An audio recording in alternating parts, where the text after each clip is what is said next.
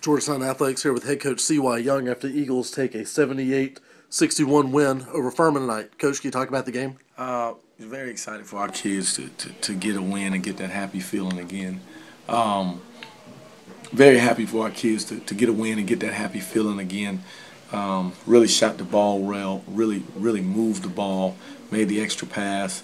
Uh, really a team effort. So happy for our seniors, uh, Cam Baskerville and CJ Reed, to send them out with a big win. Uh, and we're just trying to get better. Uh, every walkthrough, every film session, every practice, every game. Uh, biggest area where we got to commit to is rebounding.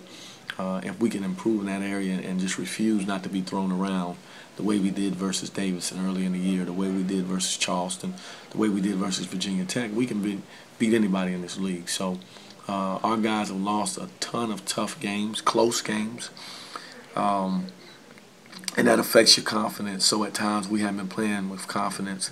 Uh, tonight we kind of fought through it and made some shots and got that happy feeling again. So uh, if we can continue to improve rebounding and play with confidence, uh, we got a chance at making a run. Uh, as far as we're concerned now, this game is over as we speak. Uh, our minds is on Greensboro. We got to go on the road and do something special so we can build some momentum uh, going into Asheville, North Carolina. Coach got 20 assists tonight, season high. Felt like the team really sprayed the ball around. Can you talk about how the offense worked this evening? Uh, did a great job of making extra pass, playing inside out versus the zone. Uh, guys were, were cocked and ready to shoot, and we just did a good job of getting the ball inside and attacking the paint. So, uh, really happy to, to have 20 assists and, and really happy to, to knock down 15 threes in a ball game.